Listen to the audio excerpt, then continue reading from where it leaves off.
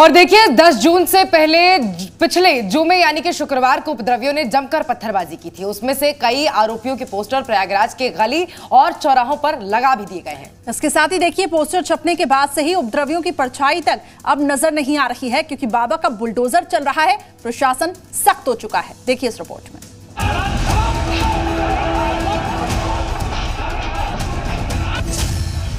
Jail की सलाखों में प्रयागराज के पत्थरबाज।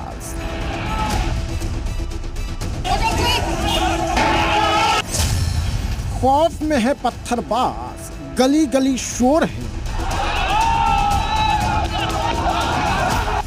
मारे पत्थर, छपे पोस्टर, जुम्मे की पत्थरबाजी की सजा। प्रयागराज अटाला हिंसा के फरार आरोपियों के खिलाफ पुलिस का शिकंजा कसता जा रहा है।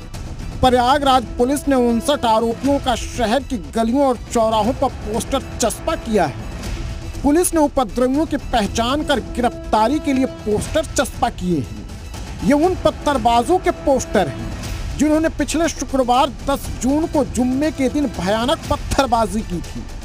पुलिसकर्मियों पर पत्थरबाजी के साथ ही पुलिसकर्मियों की गाड़ियों में तोड़फोड़ और आगजनी की गई थी। शहर के चौराहों पर लगाए गए सीसीटीवी कैमरे के ज़रिए इन उपद्रवियों की पहचान करने के बाद पुलिस ने गिरफ्तारी के लिए पोस्टर चस्पा किए हैं। शहर में जगह जगह पर उपद्रवियों की तस्वीरों वाले पोस्टर लगाए गए हैं। पोस्टर के ज़रिए पुलिस ने उपद्रवियों और पत्थरबाजों की गिरफ्तारी के लिए पुलिस ने आम लोगों से भी मदद मांगी है।